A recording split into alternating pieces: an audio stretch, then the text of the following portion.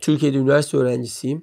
Eğer Amerika'da üniversite okumaya devam edersem Türkiye'deki üniversitemin e, okuduğum yılların ya da aldığım kredileri Amerika'daki başlayacağım üniversiteye saydırabiliyor muyum ya da denk yaptırabiliyor muyum ki en azından bu kredilerde sayılır mı sayılmaz mı öğrenmek istiyor bizden. Evet Amerika'daki üniversiteler tabii ki üniversiteler üniversiteye değişebilir. Sizin Türkiye'deki aldığınız diploma ve transkriptleri bakacaklardır. Dolayısıyla bazı dersleri denk kabul ediyorsalar o dersleri almak zorunda kalmayacaksınız. Ama bunun en sağlıklı cevabını bir eğitimciden alabilirsiniz ya da bunun en sağlıklı cevabını başvurduğunuz üniversiteden alacaksınız. Dolayısıyla üniversitede başvuru yaparken nasıl kriterleri bir araya getirip başvurduğunuzda onların sizi kabul etmesi için aynı anda siz de onlara sorularla gidip işte bu benim transkribim bunlardan hangi derslerimizi sayacaksınız ya da denkli sayacaksınız saymayacaksınız sorabilirsiniz. Farz edelim bu sayede 20 krediniz var belki 10 kredinizi kabul edecekler ve bu da sizin tabii daha hızlı